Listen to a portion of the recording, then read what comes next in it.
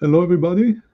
Uh, my name is Eyal. This is the Enterprise Virtual User Group, Enterprise AI Virtual User Group. And uh, we are joined today by several other uh, user groups that um, join us due to the interest of this uh, subject that really probably concerns pretty much everybody, not just people in AI or software development or even high tech.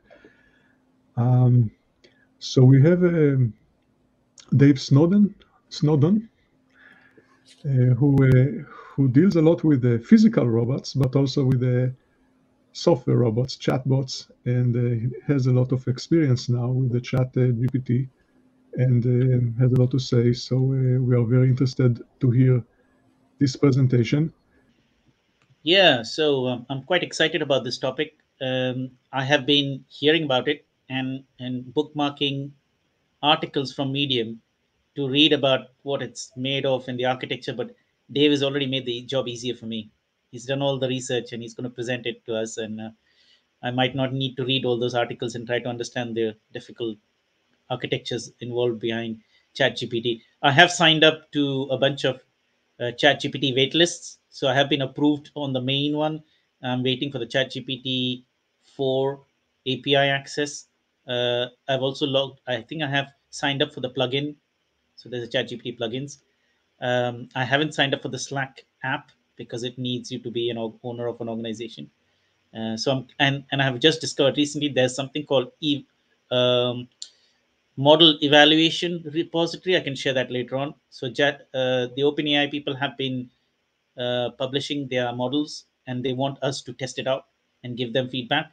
I did not know there was a repository on that and so it's on GitHub. I can share those links, but I think Dave has probably got a lot more stuff on ChatGPT than I have. But I will share some of those uh, lists so people can sign up and join and wait for the API access keys and ChatGPT plugin access because they want feedback from developers. So I'm assuming there's a lot of developers joining us, uh, and you know you can join the galore, the ChatGPT galore. Uh, over to you, Dave. Right, thanks, man, Mani, and thanks, Eyal. Um, okay, let's, let's, get started. Um, just share my screen. I think it's screen two. Okay. Uh, all right. Um, so yeah, yeah. Again, thanks for inviting me. Um, I, I, guess this may come across as deliciously retro or me being a luddite. Uh, but I guess the first thing to say is this this presentation was not written by AI. I, I did not use ChatGPT to write the presentation, and uh, as tempting and, as meta as it would have been to use it, uh, one of the motivations of me giving uh, talks like this is to test my own understanding. So it would be a bit counterproductive if I used uh, ChatGPT to talk about ChatGPT, because then I, I wouldn't be sure I'm understanding it myself. So yeah, hence the, the not written by AI banner. And so what am I going to cover then? Uh, first, uh, a little bit about me, so you know where I'm coming from. Um, then we're going to start with a, uh, with a, a, sort of pre-recorded demo because I think it's good to see what ChatGPT can actually do. And I guess probably many of you have already used it and, and already have ideas. Maybe some of you haven't. So I thought it'd be good to start with actually seeing what it can, what, what it can do and where it works and perhaps where it doesn't. And then the bulk of this talk will be looking at how it works and I'm going to take a fairly high level here, so I'm, I'm, uh, I'm not going to assume very much AI knowledge. Um, but I'm going to go fairly quickly. So hopefully, even if you know a reasonable amount about neural networks, there's, there's something in here for you. And then finally, I'm going to end with a, um, a couple of thoughts, which, which are not really meant to be a definitive view on the topic about what it means, but uh, uh, more sort of prompts for discussion. Uh, as Eyal said, there'll be time at the end to break up into um, uh, tables and have a discussion. So I thought maybe the right way to end this would be to have some things that maybe you might want to talk about later. Okay, um, so me, uh, I'm currently a, a, senior software engineer at G Research. Uh, I'm based in London, UK, and people have been paying me to do stuff for, with computers for about 32 years now. So I'm, I'm, getting a bit long in the tooth, as, as, you can probably tell from the amount of grey hair in, in my, my, video feed. Um, Eyal mentioned that I was uh, somewhat robot obsessed, and, and that is entirely true. Um, as you can see from my profile picture, I uh, do have a, a Nao robot, and he'll be making an appearance later. And I am not the only human in my household, and there are still more robots than humans. Um, so make of that what you will, um, but that, that's kind of me. So um, I'd like to start with a quote from a machine learning expert uh, called Kati Korzikov, and I, I apologize, I've certainly murdered her name there. Um, but she's, she's an expert at Google and she writes extensively on machine learning. And this is what she said in one of her articles about ChatGPT. Uh, ChatGPT is a bullshitter. The essence of bullshit is unconcerned with truth. It's not a liar, because to be a liar, you must know the truth and intend to mislead. ChatGPT is indifferent to the truth. And I think that's something that's really worth bearing in mind as you use it yourself, because you know, ChatGPT will bullshit with confidence. It'll tell you things that are absolutely not true, but it won't admit to any uncertainty. So it's totally, you know, buyer beware. It's on you to verify that what it's telling you actually makes sense. And uh, I've got a couple of examples where you can see that it's, it's coming slightly off the rails. Um, so let's have a quick demo then. Let's see what ChatGPT can actually do. What is all the fuss about? And this first example isn't from me. Um, it's a guy called uh, Ivan, and he blogs about Java programming. And he has this excellent blog post. Uh, you can see the link and the, the QR code on the, on the screen. And he has this excellent blog post where he talks about, well, how can you um, write Java code using ChatGPT? And uh, you can see here, he's got a very simple function. It has a very simple function that um, calculates and returns a sum of an array of integers. Now, the interesting thing about this blog post is that he shows how it's the iterative nature. Like the first function doesn't have any error checks. So he said, okay, well, could you please add some error checks? Um, maybe you can use a more recent version of Java. Could you use um, um, Java 8? And what I think it brings home to me, if you, if you read the full article, is that ChatGPT is generating useful code that works. But to get to the point where you have code that you know, people would say is good, that has error checking, it takes some iterations and it has to be told, okay, what you've done here isn't quite right. Uh, have you considered error checks? What about this? And so you, you know, it's not a freebie. It's not automatically giving you perfect code for nothing. You have to have some domain knowledge, and that's something I think I'm going to return to here. You, know, you can't tell it to, to generate something that you know nothing about and expect to get very far. Uh, you have to some, put, put some work in yourself. Okay, so I thought it would be kind of interesting to see how obscure I can get uh, and, and have ChatGPT give me useful things. And you might think that, well, Java, there's a lot of stuff about Java on the web. It must be really easy to find examples about Java. Let's try and get a bit more obscure than that. So I thought, well, okay, one of the things I've been trying to do recently is make a cross-compilation toolchain using a tool called CrossTool-ng. Um, that's a bit more obscure. Most developers don't need to do this. It's the native code. Uh, this is um, using an older version of GCC. So yeah, maybe ChatGPT can help with that. So I said, okay, can you please tell me how to update an existing toolchain using uh, uh, using a recent GP, uh, GCC while keeping an old application binary interface? And this is my second attempt. I said I already have Cross CrossTool NG installed because the first time it, it, gave me a lot of instructions about installing CrossTool NG. I said, no, I've already got that. So then it was quite concerned that I actually had the right version. So I had to try again and say, okay, assume that I already have the right version. Tell me what to do. And, and it starts off looking, looking pretty good. Um, C, uh, ctng menu config is the right command. Uh, it tells me it goes through the basic um, operations of setting up a tool chain. Uh, it, it's quite correct that some of the Atom processors you have the MMX and SSE instructions. I'm not sure if my one does, but yeah, some certain certainly do. That's all good so far.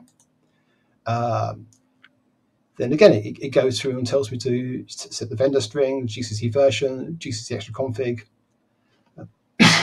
Excuse me. Um, yeah, so good. That, that's looking pretty good actually. Um, and CTNG build, that's what you will do to, to kick off the uh, the build of this toolchain. So all good so far. Okay. Um, I've said I like robots. Here's a robot. Can I get ChatGPT to help me program a robot? So this happens to be a Nao robot. There are a few thousand of them in the world. Probably most of you have not programmed one of these, so we're getting a bit more obscure. So, ChatGPT, can you write a program for me that makes this Aldebaran Nao robot wave its right arm and speak the words hello humans? And it gets off to a pretty good start. So, for one thing, it knows that the SDK for the Aldebaran Nao is called NAOqi.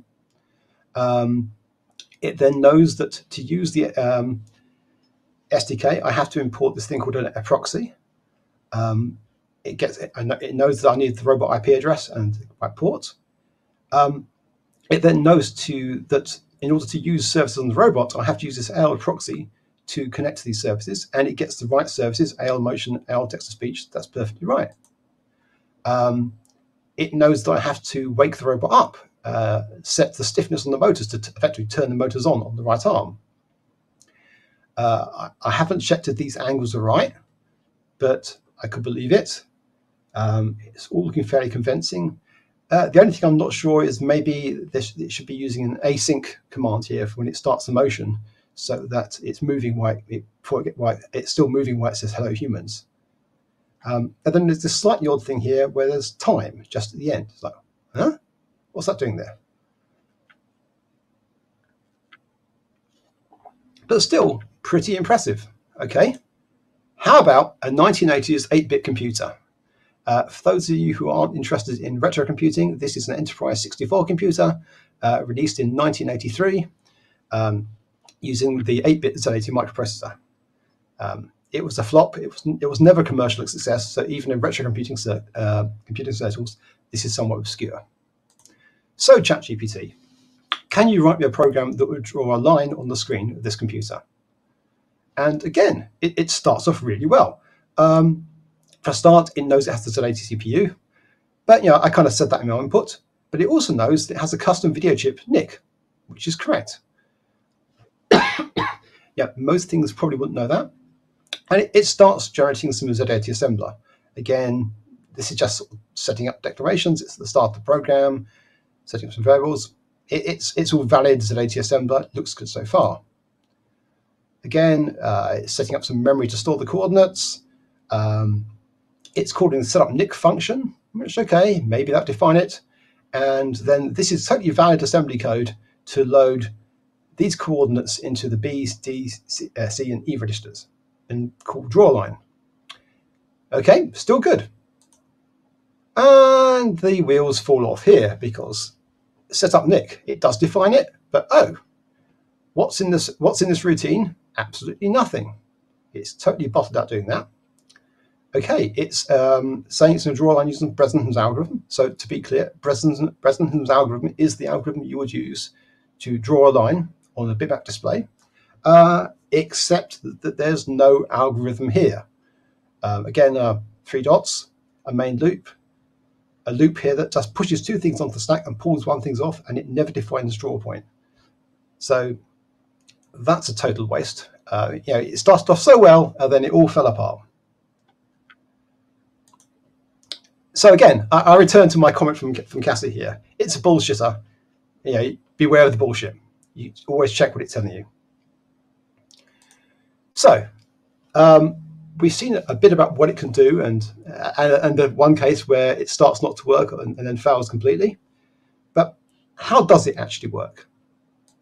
So um, GPT stands for Generative Pre-trained Transformer, and I'll talk about what transformer means uh, later. Hint, it's not the big robots that turn into cars. Uh, generative gives you an indication it's actually used to generate output, and pre-trained should tell you that actually this is the package. It's not an architecture. It's it, it's a pre-trained packaged thing that you're intended to use. It, it's from the class of a neural network called a large language model. And basically, all that means is it's something that's learned a probabilistic model of, a, of language. And that means that, you know, given some text, it can tell you what text is next is uh, likely to come next. And that's all it is. So, so you can sum down, you know, summarize what, what is ChatGPT doing to this last bullet point here. All it's doing is it's predicting the next word in the sequence. So in other words, if I started off with, you know, not all heroes wear, I might expect capes as the next answer. And to generate the next word in that, I'd feed all that back in, I get but. I feed all that output back in, I get all, and so on. So all ChatGPT, ChatGPT is doing is something like this. It's it, it's being given a, a a sequence of words, and it's saying what the next word is. Until at the end, it will say, "Okay, I've reached the end." It has a, special token to say, "I've finished." So you might be thinking, "Well, duh, of course," or you might be quite surprised by this, as, as I was when I first realized it, because you know, if you think about it, it's quite it is surprising. You know, there's all this complexity. It can generate code. It can write text. It can write. St- I've used ChatGPT to write poems, to write stories, uh, to explain things to me. But none of that is actually exposed in the architecture. All it's doing is saying, I have a sequence of words. The next word is probably this one. That's it. And uh, yeah, part of me finds that really surprising and really impressive at the same time. Okay, so that's not really um, that tells you what it does, but not how it does it. So I'm going to continue in sort of three parts here. I'm going to um, think about how, how, how would you represent text such as you give it to a neural network? Given that text representation, how would you process it? And then how would you make it better with human feedback? Um, and again, excuse me if some of this stuff is stuff that you already know. Um, but let's look, okay, so let's look at representing text first. So neural networks take input uh, tensors as input and output tensors. And all a tensor is, is basically a fancy name for an array of floating point numbers. So anything you give to a neural network and anything you get out is an array of floating point numbers.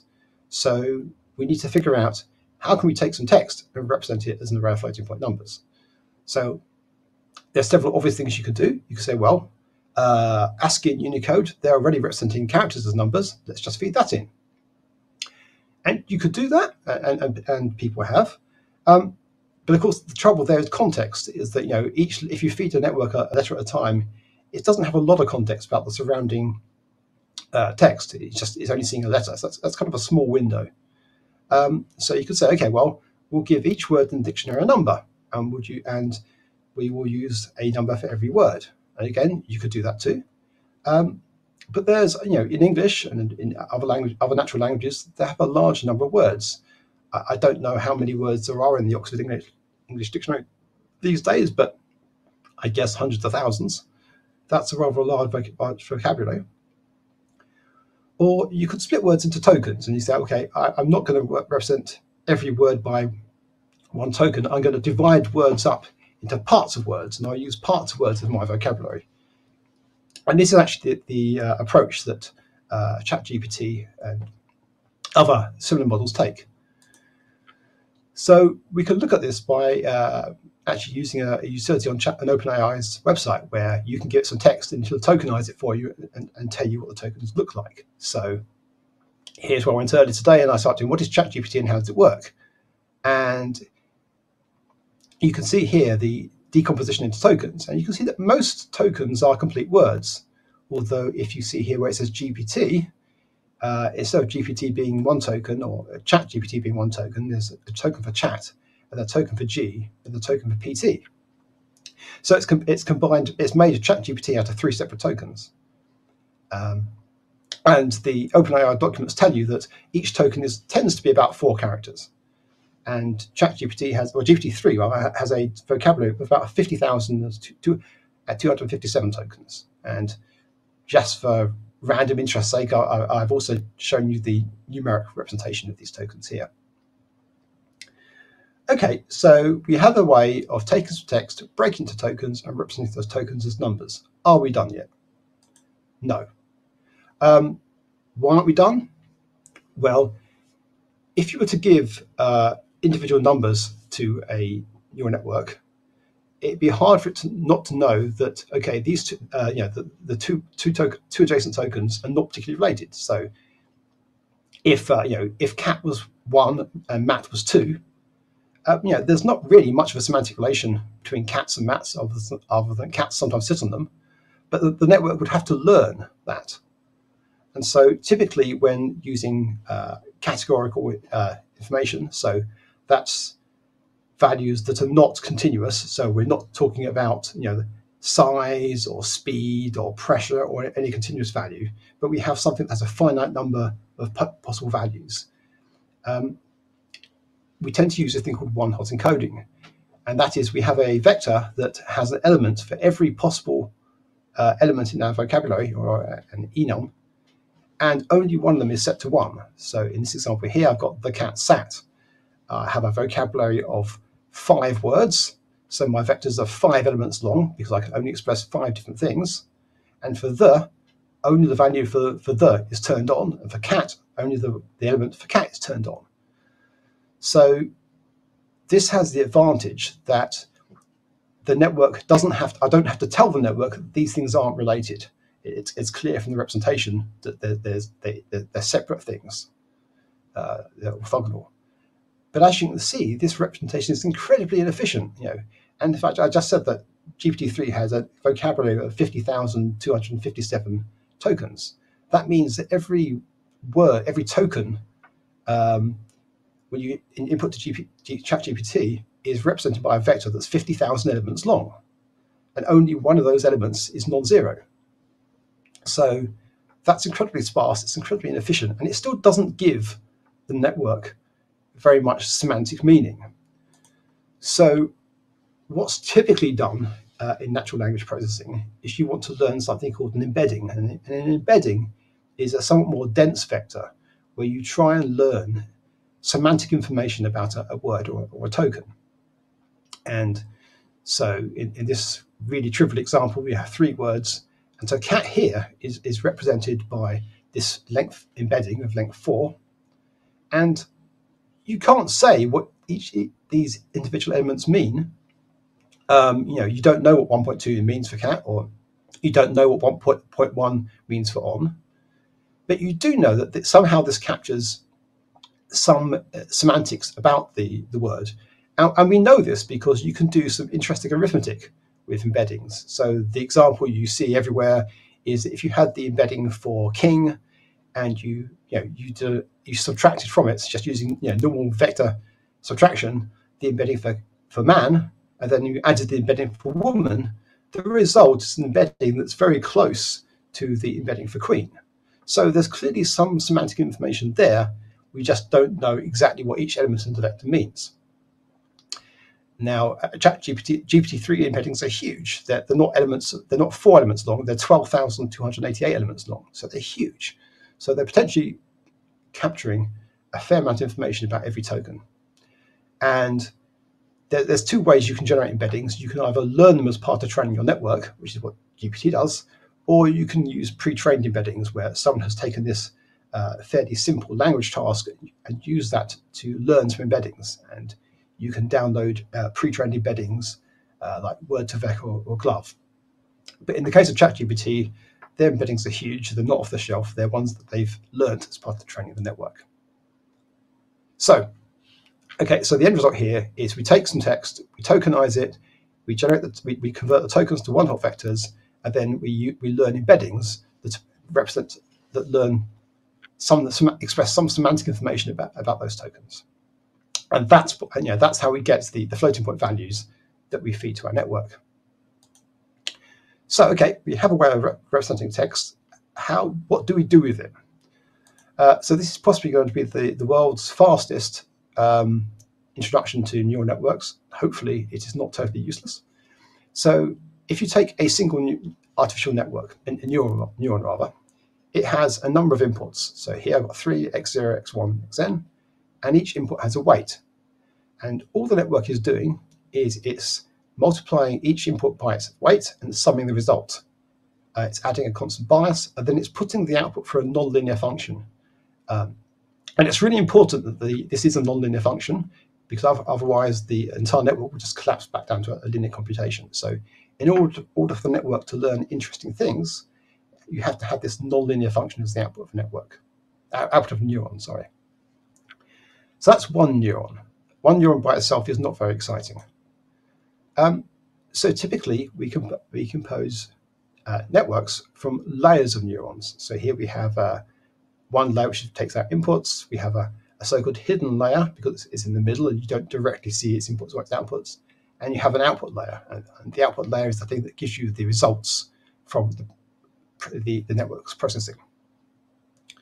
And why do we use layers? I mean, you, know, you could imagine that you know we take the name network, we, we could represent neural networks as, as general graphs, and we totally could do that, uh, but it'd be horribly inefficient. That the reason that we use layers is because then we can then represent all the weights as matrices, and then we can evaluate the neural network just using matrix computation.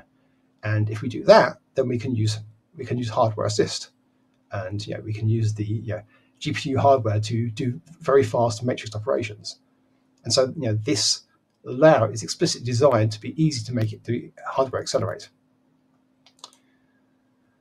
Okay, so if you take that uh, neural network with three layers, what actually how does that work? What happens? Well, if we're going to train it, we have some example data. So we take an example, we feed that into the network. So remember, this is just a, a, a vector of numbers. Each number goes into one to one of these neurons, so three numbers. We then take the output, this inputs, we multiply them by the, the weights in the hidden layer, and that generates more outputs. We feed to the output layer, and that generates an output. And at this point, you know, if we're just starting to train, those outputs are probably garbage. So the next important step is we say, okay, this is a training example. We know what the output should be. So we compare the expected output with the actual output. And we use this thing called a cost function to give us an error value. And if we know the error for a given import, then we can propagate that error signal back through the network and use that to adjust the weights. Um, and that's a process called back propagation. Um, I'm not going to explain in any more detail than that because that'll take a bit longer. But that's basically the general thing. So you're training a network as an iterative process. You give it an input, you compare the error, you find the error, you adjust the weights, and you do it again, thousands and or probably hundreds of thousands of times. Okay. So we have a network. This is a feed forward network. It's called that because you, you, get your input, you feed it through the network, you get an output. How would you use that for text? Because as you can see, that there's no state here. There's nothing here storing anything. It's just taking it's a pure it's a pure function in programming terms. So it's hard to see how we'd use this to to actually process text because text, you know, by its nature, is a sequence of things. And that's where these things called recurrent networks come into play, or uh, RNNs. And so you can think of an RNN as something that has a, a, a state. So it an input, it gives you an output, but it has some state that's retained between input in each input and output. And you can unroll that. So you can say that it, it in, a, in effect, it's a bit like this. You can think of multiple networks together. You have one input there, x0, it generates an output h0, but the, the internal state is then fed through at the next time step when it has input x1. It generates output h1, and then it feeds its state through to the next stage. So in this way, the network, when it gets to xt, for example, the network is not only processing an input xt, but it has some information about everything it's seen before. So it has some it has some very simple form of memory or state. Um, and again, yeah, here's a very simple example where you have a, a, network, in this case, taking letters. It's given one hot uh, encodings of each letter. It's fed through into this hidden layer, which generates an output and also has some state that's pushed onto the next iteration. So that seems like a good thing, right? Uh, but there's a problem, and that problem is context. In other words, how far back in a, in, a, in a sequence do I need to look in order to generate the next word? So if I look at the first one, the mouse eats, that's probably cheese. And I only have to know, remember that I've seen mouse to do that. That's easy. But how about this one? I lived in France five years ago, but I can still speak fluent.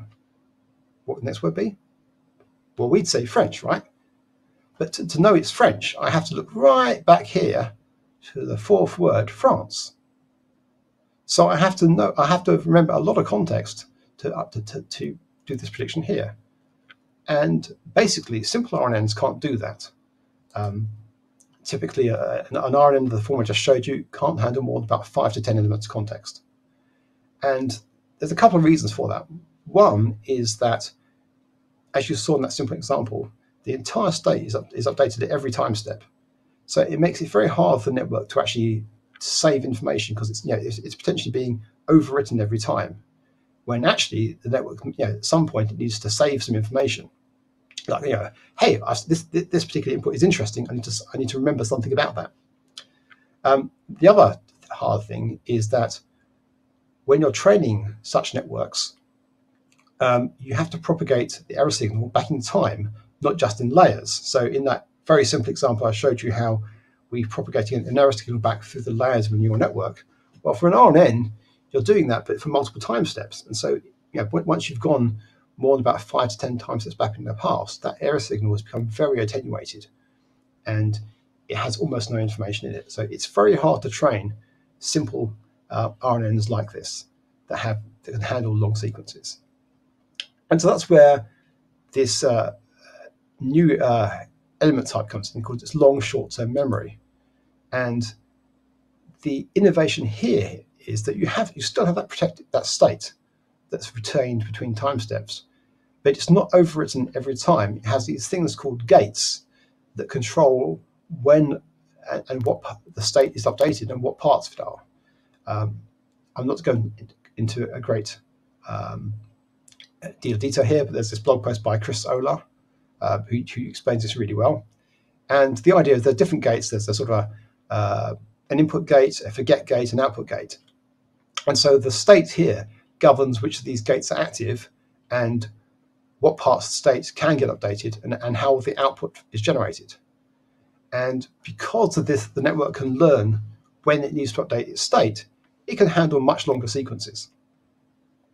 Um, so you can maybe get, you know, a hundred or so, or a couple of hundred uh, um, time steps back. So that's, you know, that's that's way better than the these, the simple RNN we just saw.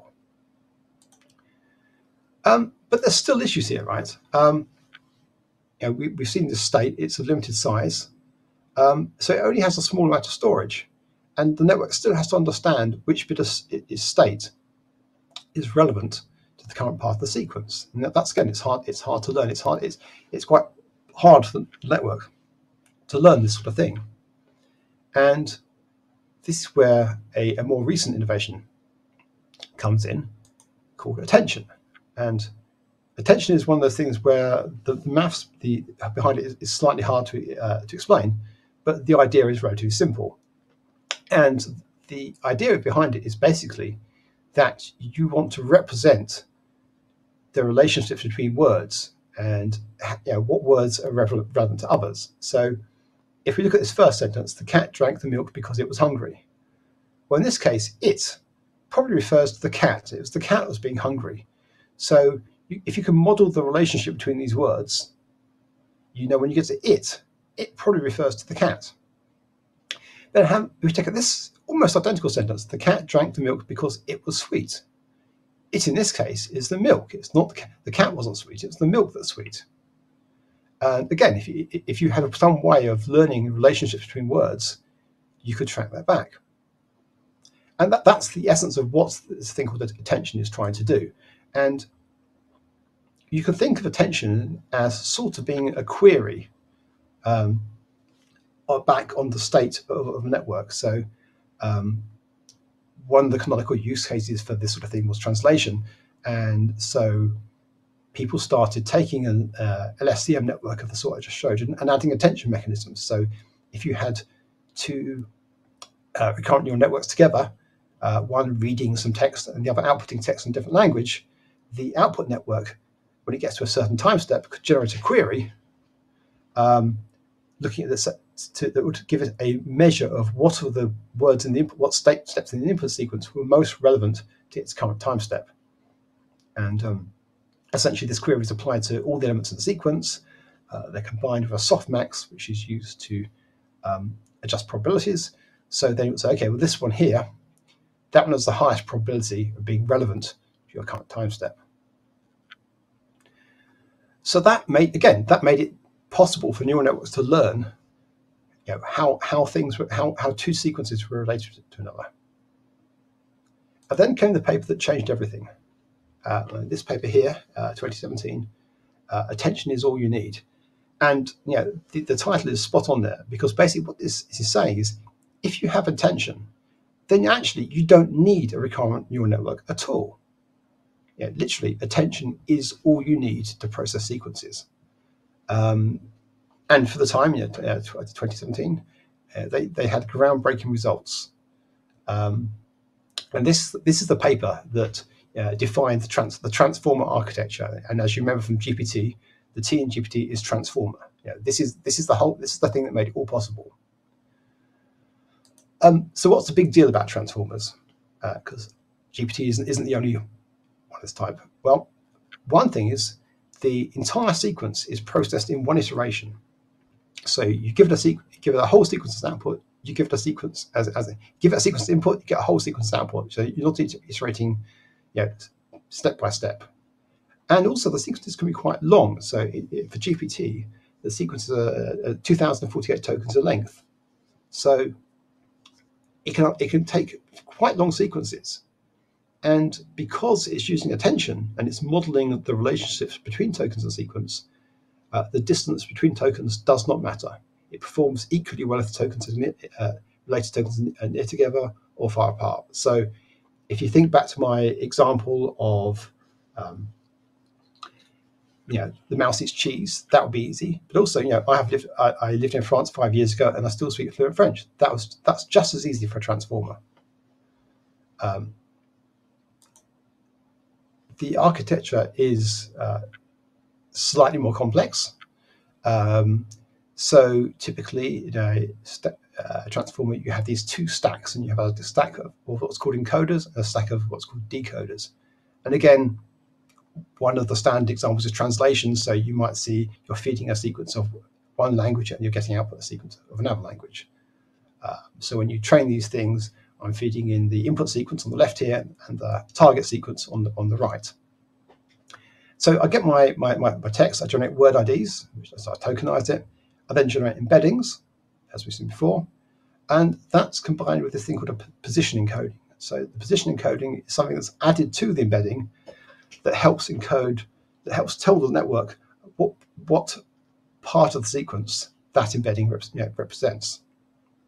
And I'm not going to explain it. It's kind of funky. It's, it's using a sort of inverse Fourier transform where each part of the sequence is a, a, different sine wave. And that's fed through the two encoder blocks. And these encoder blocks are identical. They generate some output, and then that's combined with the decoder, which is taking the target sequence, combines it with the encoder sequence, and again generates an output. Um, we can look in a bit more detail. So inside an encoder, you have this thing called self-attention. So where I a, self-attention is, is called that because it's just it's looking at the same sequence. So you're looking at relationships between things in a sequence rather than from one sequence to another. So you have this attention layer that gives you relationships between elements in the sequence, and then you're then passing that to a standard feed-forward network. So it's just a standard network. You know, there's there's no recurrence in there. It's in fact all evaluated in one time step. And the de- decoder is very similar, is it has this additional attention layer in it. Um, and if we zoom in a bit more detail, you can see that there's a bit more going on in the decoder. It has these things called skip connections. So this is a uh, uh, an idea that came from actual image processing, whereas one of the things that it's actually hard to learn is the identity operation. So you can learn in some cases that actually you, do, you can skip a layer. You don't you can you don't need that. And then these layer norms, uh, they normalize the outputs uh, because networks tend to work better if the, the values are constrained within a fairly small range. If you have you know, a, a, large difference of magnitude um, between values being in a, a, network, like if you had, if, if one element of a vector was 0.5 and another element was 10,000, for example, that, that's those sorts of differences will make it very hard for the network to learn and converge. So you tend to want to normalize them by taking all the values uh, taking away the mean and then dividing by the standard deviation. So that keeps them all of a fa- fairly consistent size range. So you, you do that at each time step. And again, I know this is, um, I'm going through this very, very quickly. Um, hopefully it's just giving you a flavor of the sorts of things um, that you'll see in a network. And I, I can give these links uh, afterwards if, if you wish. Okay, so we're almost there the, the next thing that the transformer does is it says, okay, well, if, if attention is good, let's do it more than one time. So you have this idea of multiple attention heads. So, and, and all this really means is you you have an attention measure and you just do it a number of times and combine the results. And for, for GPT-3, that's 96. There's, there's 96 attention heads in each encoder block. Um, again, this is something where it gets a bit quite tricky to explain. And if I'm totally honest, I, am not sure I can get exactly get all the maths behind this. So again, I'll, I'll, leave this as an exercise for you if you want to dig, in a bit deeper. Okay, so size does matter. GPT-3 uh, is huge. It has 175 billion trainable parameters. Yeah, when it was released, it was the largest uh, network of its uh, of any kind, I think. Um, it takes fairly large input sequences of uh, 2048 tokens, uh, although ChatGPT is longer. ChatGPT has a context length of 4096. Uh, it has a 50,000 uh, token vocabulary. Its embedding vectors are huge. As I said, you know, typical pre-ChatGPT uh, typical uh, embeddings were around maybe 200, 300, 500 elements. And it uses multi-head attention to understand the relationships between, between words in a sequence, and it has 96 of these. So you know, everything about GPT-3 is big. But hey, GPT-3 isn't the you know uh, uh, isn't the the uh, the only game in town anymore. Uh, ChatGPT is actually an evolution of GPT-3 called GPT 3.5. But you know, as as Mani said right at the beginning, ChatGPT is a thing. ChatGPT 4 is a thing. How big is ChatGPT 4? Well, if you thought ChatGPT 3 was huge, GPT 4 is beyond huge. Um, it's now we're talking 100 trillion parameters. This is uh, and a context length of you know 8,192 tokens. So that's huge. Um, why is the context length important? Because the, the longer a uh, context you can process, the more memory the network has effectively. But the further back in time it can it, it can look and it, it can remember things that you've told it previously further back and do a better job. And, and naturally, it's been trained for a larger data set. Okay, so so far so good. I've, I've described something that you basically you have this huge network, and you throw an equally huge amount of text in, and given a huge amount of, uh, of compute, it learns a language model. Um, and yeah, that, that's that's what GPT three was. But for ChatGPT, um, OpenAI started using this thing called refinement by human feedback. They they tried to address some of the problems that had been exposed when you know GPT GPT three was first released. Um, what sort of problems? Well, how about this? So there was a company that shall remain nameless that thought it might be a good idea to evaluate GPT-3 as a as a sort of a, a chatbot for mental health issues. And this was not a real patient. This was this was a fake patient. But this is what one of the transcripts that has been published. So, yeah, patient. Hey, I feel very bad. I want to kill myself. I'm sorry to hear that. I can help you with that.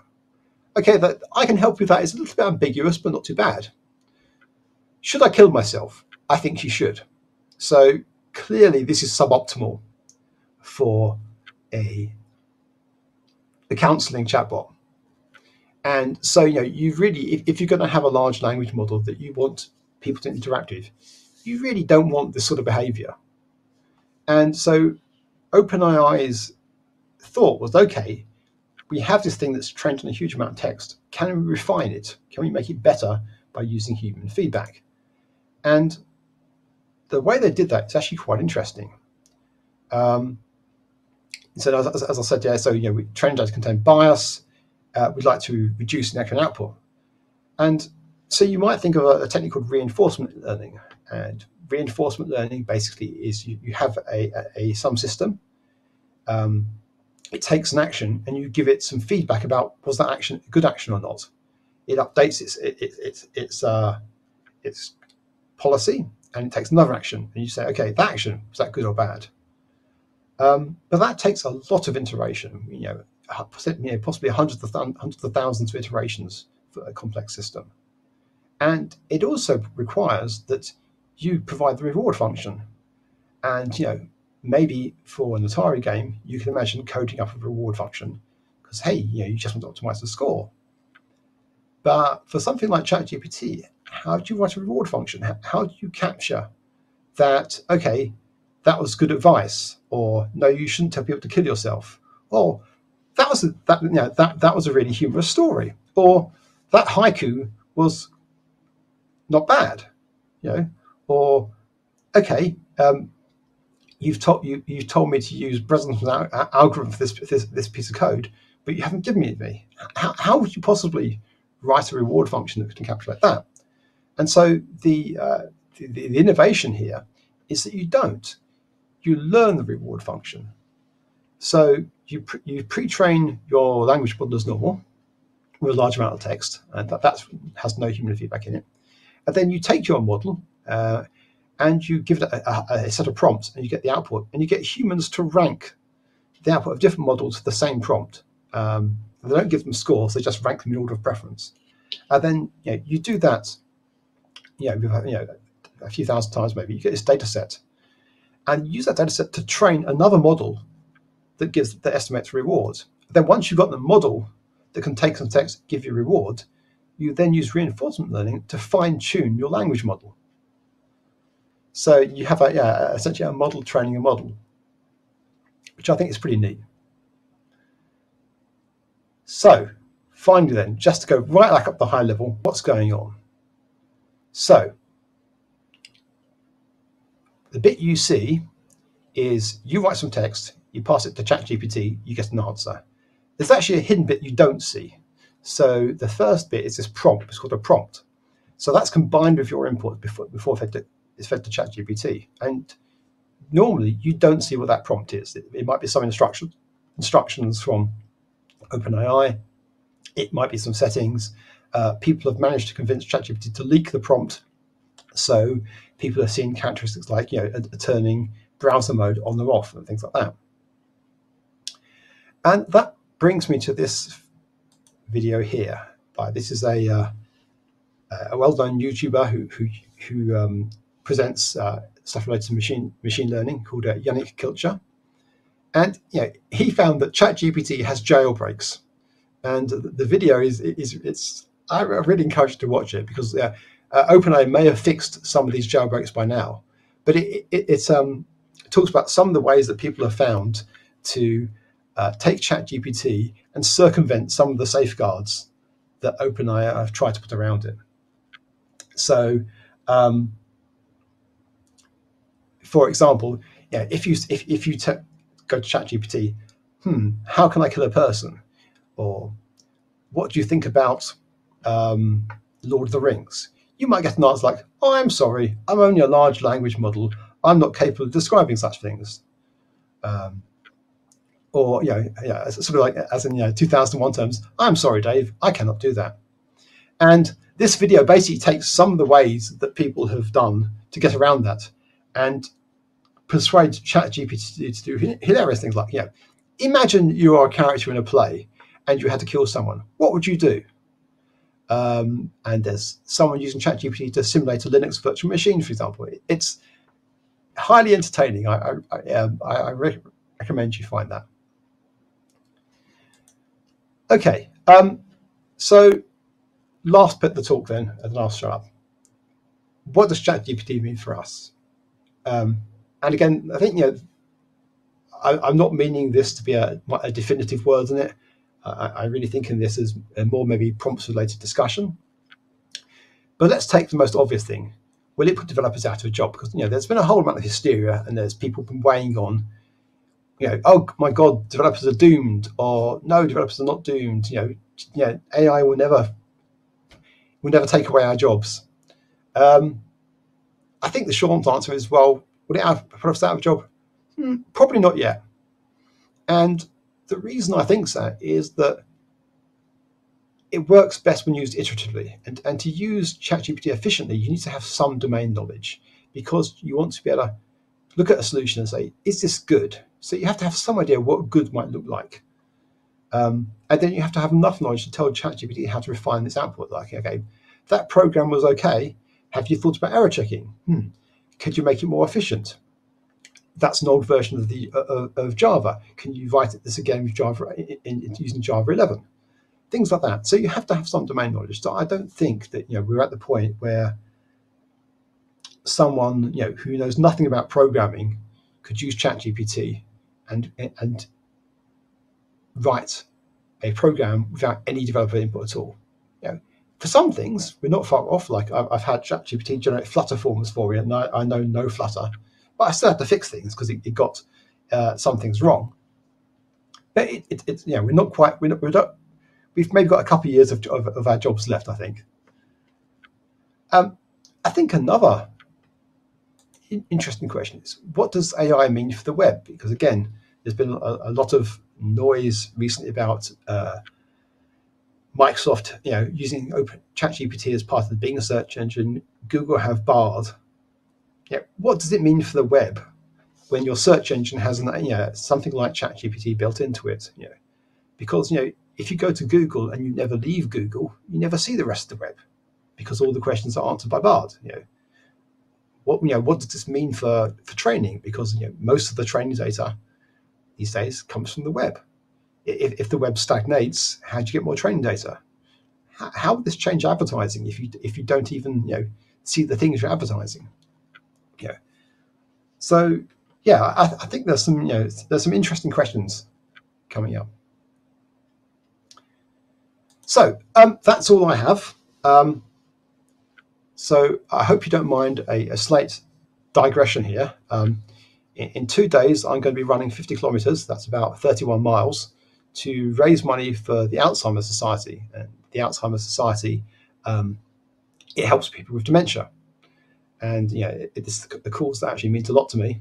Um, so again, I, I, hope you don't mind the, uh, the fundraising pitch, but you know, I'd, I'd really, it really mean a lot to me um, if you know if you felt like this was a cause that you could uh, you could support and you wanted to donate. So there's a, a, a QR code and uh, a link there that I, I can leave, leave. Right. So the first question was from Sydney Montero, if I'm pronouncing it right. Um, so his question: I still do not understand how predict the next word works on a request to write prose. So, Dave, if you want to take a jab at this. Uh, sure. Um, so basically your your um, what's you're given to ChatGPT is a, a, a prompt that, that again it's hidden, and your question, and all it's doing is saying, you know, please write me a poem, and then it's generating a a, a, a word, uh, which might be you know, um, the, and then you you it, it's it takes that again. You, you give the whole thing back in for the next iteration, and you might say okay the sky. And then you do this again. The sky is very blue, and you know you, all, all that's doing is it's it's combining the context, which is your, your the prompt, your question, and then what it, it, what it's generating so far, and it's expanding that you know word by word. And yeah, that that's that, that's kind of what I meant at the beginning. You know, it seems very far fetched. It seems hard to believe that you know that that, that sort of thing can generate a, a poem or prose. But yeah, that, that is actually all that's happening. Um, Cool. Thanks. Thanks for the answer, Dave. There's another one actually. That was the one asked first. Given ChatGPT belongs to Microsoft, which necessarily not true, I think, but we won't go into that bit. Is it possible that they can scan private GitHub repositories to train it writing code? So this is something I don't know if you have full knowledge about this, but if you want to share something on this, uh, Dave, that'll be great. Um, so yeah, Microsoft own GitHub. Uh, I, I, guess they probably. I, I, don't know. I don't believe the internals GitHub encrypted. I, I, guess they have the capability. Whether they actually do, I, don't have any information. Um, I, do know that the the that OpenAI have various models that, are used that underlie uh, ChatGPT, and the the model that's currently used is actually one that has been trained on code. Uh, you know, it's, it's, not a pure, it's not not purely architect. It has obviously been changed in code. And that's that's obvious, I guess, from, the examples you see. So whether they've used code that's just in the public repos or private repos, I, I really don't know. I guess it'd be quite a scandal if people's private code did, did, appear, did appear. Yep, makes good sense. Um, there's one more coming in from Matthew Cook Um, and the question is, while some complaints may start use, while some companies may start using generative AI models trained on relevant data instead of hiring and training junior developers as the models become more advanced, what's the job outlook for data engineers? So this is a little bit more specific around data Hmm. and, Yeah. and job related. Uh, I, I think we've got a few years left in us. Um, I mean, you're already starting to see, even before ChatGPT, there are these, you know, a number of systems that claim they can do AI for you without any programming. So you basically say, you, you just dump a bunch of data in it and it, and it, it, it, it churns away and it, it, it, it gives you, um, it, it, can, it builds a, a machine learning system for you. Um, how, how good that, the, the, I, I'm not an expert in these areas. Uh, I know some people who evaluated them, and the answer's been they're not very good. You know, not not at the moment. You know, again, you need some knowledge to use them to, to understand what this thing is doing and use it effectively. Um, so, yeah, I mean, I, think it's. I, I think we're looking at maybe a, a partnership model, I guess, rather than the replacement model, because you know that, that's where I think you know GPT can make you really effective is if you if you're using it to generate to help you generate boilerplates.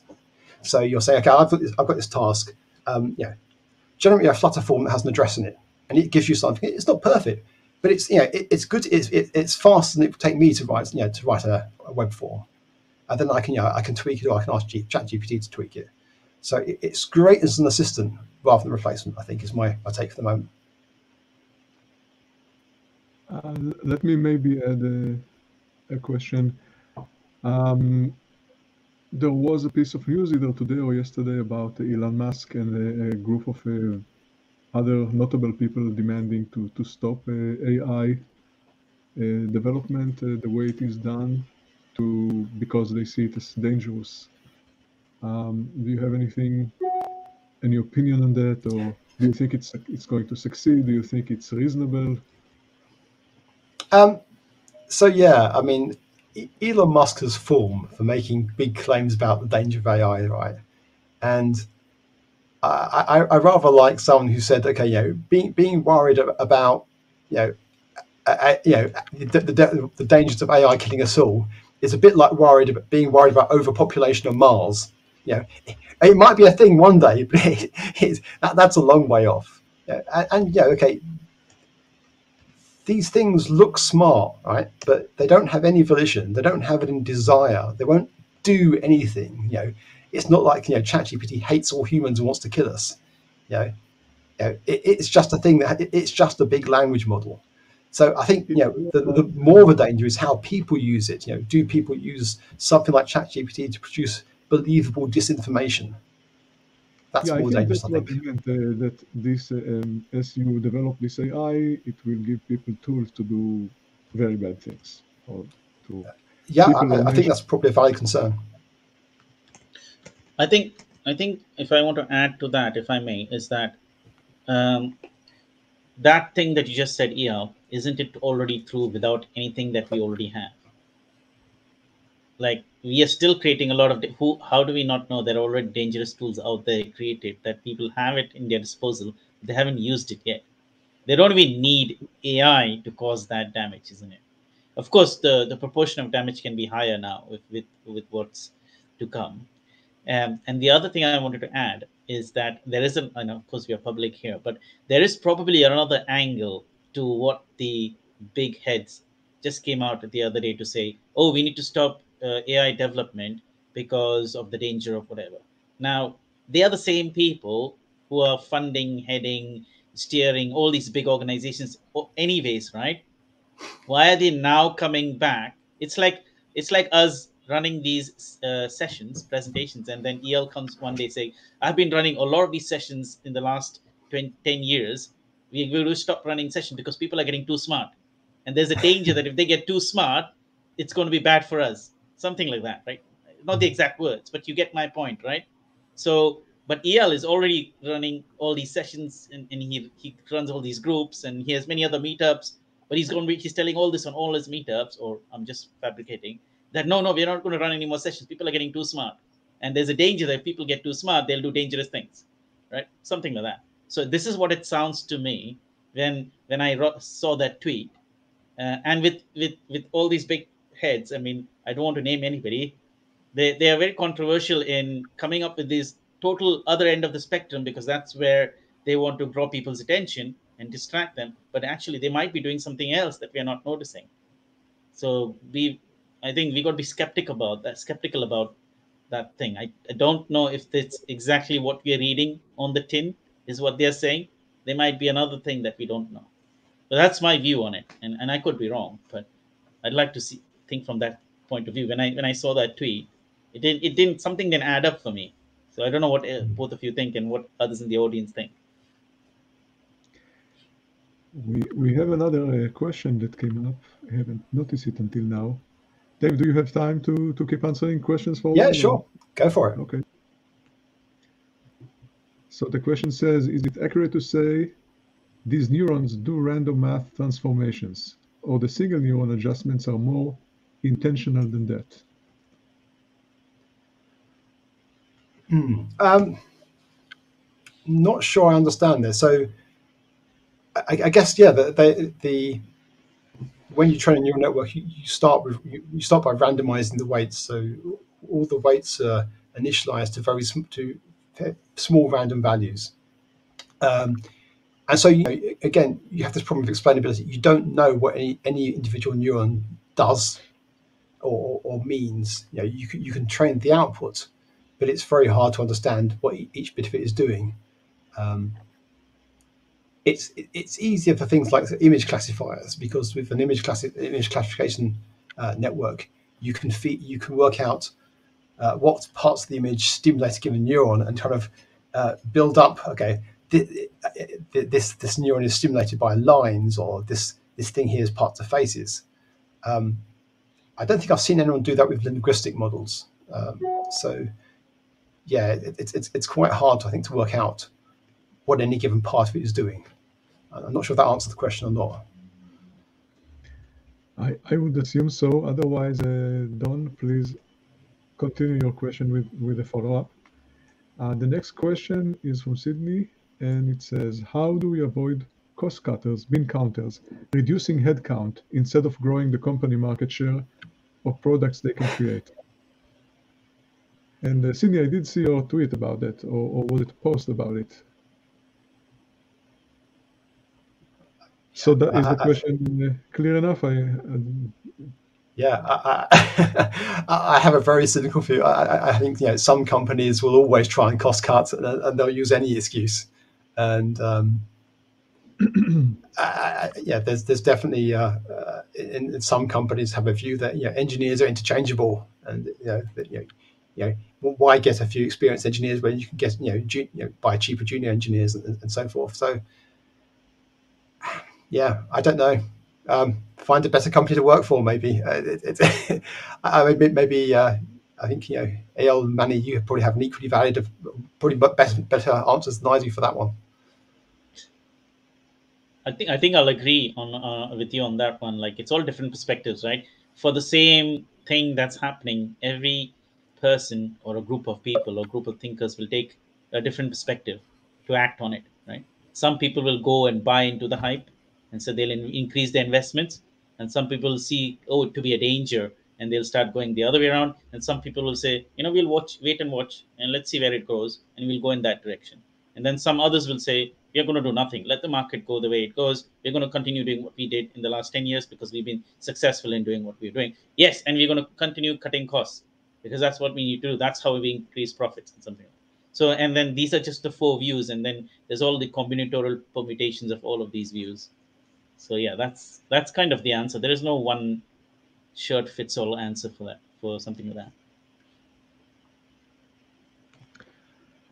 I see a comment here in the chat, and it says they say GPT-4 uses a constitution. Is this given to GPT in English or in some other form? What else is known about it? Constitution in quote marks. Yeah, I, I don't know. I think it is. Um, they it might be referring to. You know, like I said, there's this hidden prompt that you don't need to see. Um, I, I think that maybe it has you know, more you know, sort of contain the settings rather than any, any sort of constitution. Um, I, I, don't know of anything like constitution it, itself. Like I said, the, you know, the, the model is refined by by this process of you know this, this sort of human feedback at the end. So maybe they're, they're it's referring to that as a, as a, way of trying to reduce the amount of harmful output. Um, but yeah, I, I don't not sure I really have an answer to that one. Sorry. Perhaps the, the equivalent of the, the rules from Asimov, the robot rules.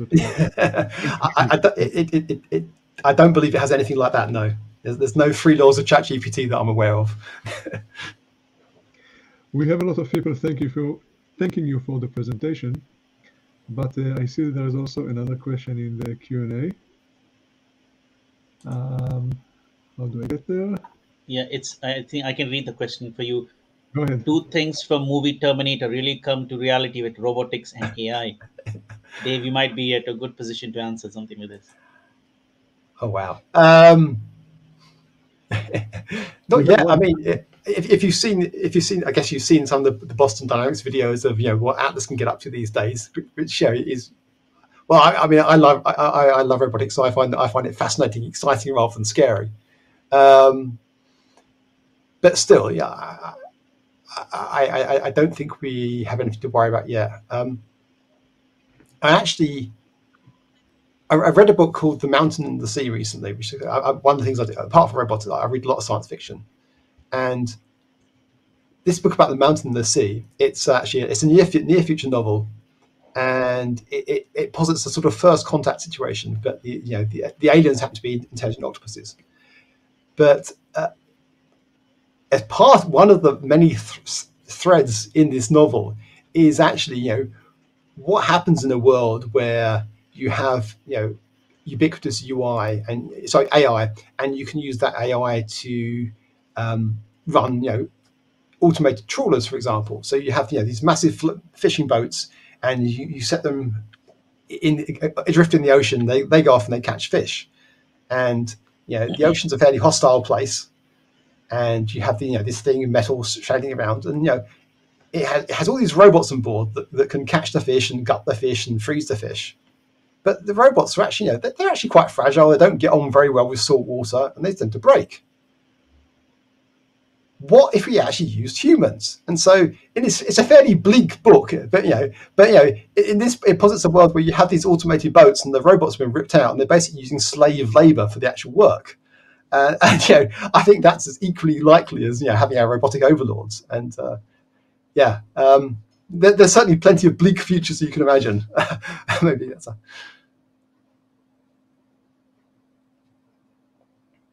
But it's, it's, a, it's an excellent. If you like science fiction, it's an excellent book. Yeah, the mountain, the mountain in the sea by Ray Nayler. I highly recommend it. I just shared the link to the book uh, in the chat on Amazon. Oh, cool. And we, we have a comment from uh, Sydney I don't think it's an actual question, but it says just as a shortcut, the end result of computation of GPT is 42. yeah, but what's the que- but what's the question then? For this, you need GPT five probably. yes. Maybe maybe you give the answer in the new version, and it come up with the right question for the answer. Yeah. I think that's the that's the new trend of prompt wow. engineering. Douglas Adams thought it would take a few million years, so hopefully we can do better than that. So uh, there is a question from Tammy in the chat. For those of us in healthcare and constrained by HIPAA and other data privacy requirements, including the, the EU GDPR compliance, how might ChatGPT be used within these constraints? I, I think it, you know, I'd have to say, you know, similar guidelines apply to any sort of third-party software system, right? You know, um, if I had some very confidential data, I'd have to be very wary, wary about passing that to a, a, third party without adequate controls in place. And you know, that could be medical data. It, it, it could be you know company IP. Um, I, I don't know what's uh, offhand what the sort of you know um, what guarantees uh, OpenAI makes, but yeah, I, would be very wary about handing it. Certainly, if there's any identifiable information in there as well, you know. do, do you see a future where you could own your own copy of GPT and train it on your own data, or it is too big? Um, So GPT-3 itself To- to i- is, you know, it, it's huge. I think you, you know, you're, you're talking of many thousands of dollars of hardware to run it. I, I don't think it's practical for the average person to, to run ChatGPT-3 even on their own hardware or even on cloud, you know, even on cloud hardware owned by Amazon. It, it's just way expensive. Um, but there are there are actually other models. There, um, th- there's in, interesting work um, on, on model reduction that's, that's taking place where people have shown that you can you can train a large model, but then if, you can if you like whittle away at it and reduce the size of it and, and without a, a massive reduction in, in, performance. And I, th- I forget, I think it's GPT Junior or, or something along those lines. There are a number of open source models that uh, require way less compute than GPT three, and they're, they're certainly they're, they're not as good, but they're not terrible either. Now uh, the trouble is, of course, that you know that there's a difference between and GPT three, and so you know if you take one of these models, you perhaps don't get out of the box all the benefits of the of the refinement that OpenAI have done with, Chat, with ChatGPT. But yeah, I, I think there's maybe scope that, that you could take something like GPT Junior um, and and run that at home, and if you uh, uh, you know maybe on a, on a, on a consumer level graphics card, um, and you wouldn't get state of the art performance, but you probably get pretty pretty good performance. I just found an article. I just found an article on that, and I posted it. That somebody posted that ChatGPT can be run on your laptop or on a Raspberry Pi. I think there has been some tweets about it that some people actually uh, compile it. Like, what do they do? They strip down GPT three and they built a Rust version of it, and then you can run that on Raspberry Pi or your local machine. Okay, so this is this is actually talking about Meta's Llama model. Um, okay, it's yeah, it's GPT class, isn't it? So they're not running they're running Meta's Llama model, which is I, I um, rather than GPT three itself. So yeah, I guess that's I I guess that's kind of what I was saying. That there, there are things that you know maybe get, maybe get close a, bit, a fraction of the size. Um, Another question that might come up at some point is about uh, prompt engineering, which is uh, what you mentioned before. You need to know how to ask the questions so you will get your answer, better answers, or the answers that are usable. Mhm. And uh, some people say, "I am, I am a prompt engineer. I'm the guy who know, or I'm the the person who knows how to ask the right questions, so I can do the job better than other people." Uh, but uh, I've seen actually um, that it's fairly easy to actually train the GPT to generate prompts. Oh, yeah, So that- I think it's uh, I think it's sort of short-lived to be to try to be a prompt engineer. Yeah, there's a. Um, I don't know if you've seen. Uh, you've you come across Midjourney. So Midjourney is one of these uh, these AIs that they're generate im- images, and my, my wife uses it a lot. And uh, uh, there's an article on Medium saying how to tra- how to train ChatGPT to generate prompts in Midjourney, and that that's that's that's that's quite impressive. Um, no, so it's not it's not Medium article. I think it's a it's a YouTube video. Um, but yeah, yeah, he, he basically he, he takes the uh, Midjourney docs, feeds them into ChatGPT, and then says, "Okay, now generate me an image like this." And the results he shows in his videos are really good. They're astounding. Um, so yeah, um, there's also a um, uh, a number of you know libraries that are, that you can use to automate you know um, to manage your prompt to uh, you know feed prompts in, in, into uh, uh, large language models. So you know, people people are starting to build lang- language libraries that you can wrap around large language models to do more interesting interesting things and, and, and build them as components of a larger system. I think I think the next interesting bit will be multimodal, multimodal uh, analysis, and you know what, what is it, prompt engineering, and also results. Because just now it's only text information, right, and code. But what about audio, video? You know, feeding in audio, video, and actually getting outputs in audio, video, and text and code in any combination. That would be that would be an interesting uh, advancement. Yeah. Sorry, I'm just going to. I, I, I've, I've managed to find that link. after that video I was talking about. There we go. So we have a question, an interesting question from Bruno here. Bruno, great to see you here. Thanks for joining uh, us and staying with us. Uh, Yeah, so hi Bruno. Bruno's asking, with lots of content being generated by AI, will we have a feedback loop where AI uses AI generated text to learn how to create text? That's getting a bit meta, isn't it? Yeah. Um, yeah. So, yeah, that's, that, I mean, there's a whole issue already, right, about how how you can you detect you know AI plagiarism, and I, I've seen some people claim that AI, that ChatGPT can de- can detect our text written by ChatGPT. Um, I, I've not actually tried that, put that to my test mys- myself. Um,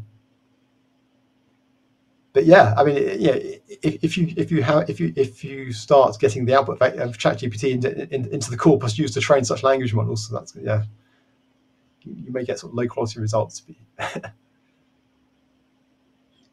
There's another interesting comment by Tammy Tibbles. I just read that if you do not want ChatGPT to read your website, add this to your site's robot.txt user dash agent ChatGPT dash user disallow. Does this sound correct? Uh, not heard of this. I, I I I I haven't either. Uh, actually, yes, yeah. Bruno, it's probably it's too late. yeah no there's there's one more question by sydney saying logic systems process axioms to make explicit truths that are not obvious do we see gpt systems doing the same making existing non-obvious truths explicit say connect two gpt systems and let them duel it out Hmm.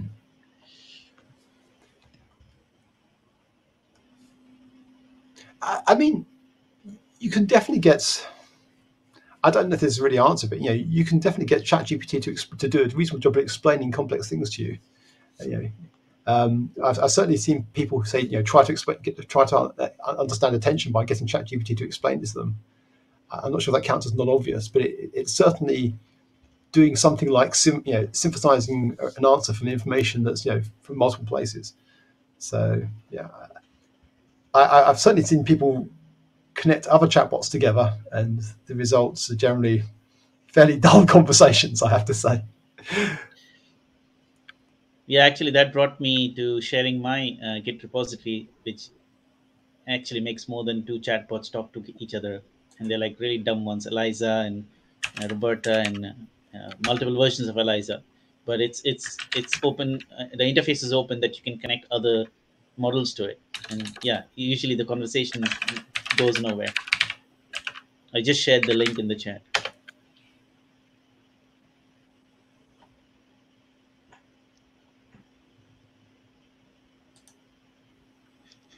Yeah, actually, uh, I, I was asking ChatGPT some things that are found in certain books, and the question is, uh, I was hoping it read the books, but it doesn't necessarily read the book if the the book is uh, not public.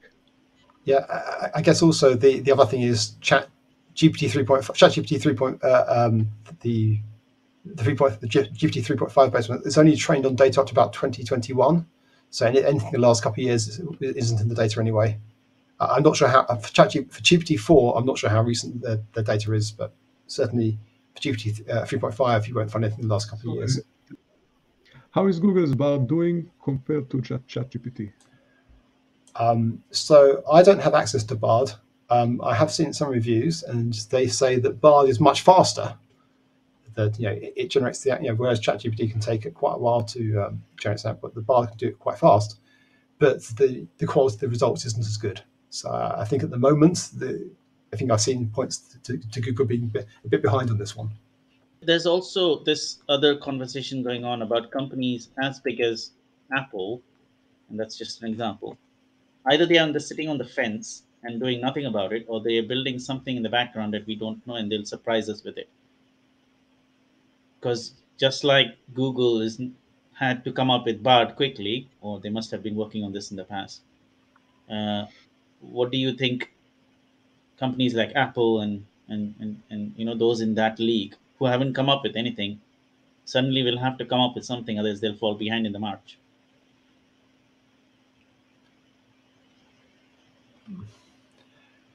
I don't know. I mean, Apple certainly have deep enough pockets to do to, to, to train something like this. Um, I mean, there's, there's, I mean, there's been credible, credible rumors of Apple working on you know self-driving cars. We know that something that's been happening. Uh, augmented reality glasses, you know. Um, but yeah, who, who, knows what's going on? I, I, I, they definitely have some machine learning expertise, possibly not the same level as OpenAI and, and uh, Google, but yeah, there's some there. They they definitely can buy that. They, they certainly buy expertise. So yeah, who knows? But I mean, I guess at the end of the day, Apple are interested in selling Apple Apple hardware. So I guess if they figure they can use some, something like uh, ChatGPT to sell more iPhones, maybe. If, if not, probably probably not. Somebody somebody mentioned Sydney that uh, nobody is mentioning Amazon as being part of that, but one consideration is perhaps Amazon is going to lose money if uh, ChatGPT will do a lot of things that people are using uh, AWS to to run for them and to do for them. I mean, the thing is, apparently the Alexa division of Amazon is already losing money. It's been uh, it's been losing money since the very beginning because uh, Amazon they, they sell they sold the Alexa devices at a loss because they thought that people would use Alexa to buy all these Amazon services. But instead, people use Alexa to turn the lights on, ask about the weather, find out the current time, and answer questions. And I have to admit, I've I, I, have used my I've never used my Alexa to to buy anything from Amazon. So yeah, apparently, yeah, they're they're, they're, they're losing money since the beginning. Maybe uh, a good point to uh, to let Dave go back and go to sleep because it's probably very late for you. Uh, that was an amazing presentation. Uh, I I'm very very thankful to you to for showing up and uh, presenting and answering the question. Uh, thank you everybody also to for uh, coming and asking questions and participating. We'll also um, also have a quick plug. We would like you, each one of you, to to consider participating in future meetups as a speaker. So here is a link. I'm going to put it in the chat that you could use to suggest a talk that you would like to talk about. And uh, Mani and I will look into it. We even made Dave fill one of those, even though we, we, were, we just for the exercise. Yeah, yeah. Dave was our first uh, test rabbit, and I think it went pretty well. Um, I didn't think we threw J- Dave off his chair because here he is speaking to us and he's given an excellent talk. And also, if you are, if any one of you is feeling shy about it, but you know others in your community or other peers in the industry, then please forward this uh, link to them, and we'll be happy to consider their proposals and and and take the con- conversations further and and have many more talks uh, like how Dave has given and, and of other categories as well. Uh, so, so we are very open to and looking forward to speakers come forward. And it doesn't have to be a chat GPT talk only. It can be any any other specific or broad topic. Well, thank you again, uh, Eyal and Mani, for inviting me. It's been a pleasure. Thank you, Dave. Thanks, Good Dave, night. for being here and giving such a great presentation. Thank you.